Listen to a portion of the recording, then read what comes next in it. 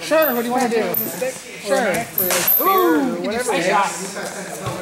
Cool. Padded stick okay? Yeah. I will do whatever you want. I just want dance partner. Okay, I'll, I'll give it a go. How long? Uh, about a year. We've been doing this about a year.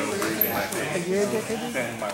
Give or take? Take a year, JKD? Okay. so JKD. Uh, JKD. Yeah, sorry. Yeah, I'm not used to people knowing. Uh, That's fair. That's fair. I'm really not used to people I knowing. I, I do okay. Yeah, never mind. You won't know it.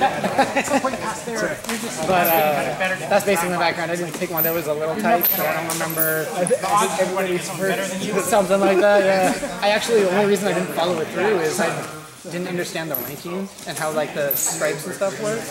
And nobody explained it to me, and I was like, oh, I'm tired of this stupid little. I want the color. A little stripe. And then I do a bunch of tests and I get a little another stripe. Yeah. I got over it real quick. So you want to stay standing and stick one? Yeah. If we get close, can we shove each other? That's fine. Shoving's fine. Or fishing now. so That dude was like, I don't think a year. I'm, I'm sorry. No, it doesn't. you know, you know, you know, not just How long have you been? Uh, I'll- martial arts in general, 30 years. Okay. So a combination of forever. Yeah, but we've been doing it. the first day of wrestling.